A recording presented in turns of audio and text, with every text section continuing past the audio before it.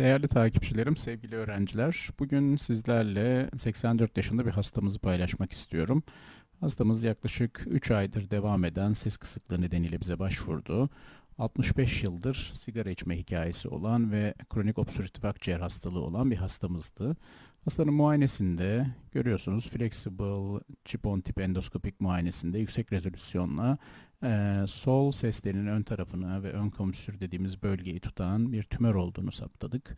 E, bu tümörün cerrahi tedavisini öncelikle yaptık. Buna kordektomi diyoruz. Bir tip 3 kordektominin ardından e, patolojik incelemede cerrahi sınırlarda hala şüpheli alanlar olması nedeniyle ve hastanın çok uzun süreli sigara içmesi öyküsü nedeniyle ardından kendisine radyoterapi de uyguladık. Radyoterapinin ardından şu anda 6. aydayız.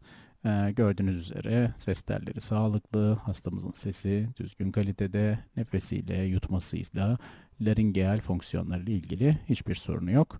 Hep birlikte çok mutluyuz. Bu mutluluğu sizlerle de paylaşmak istedik.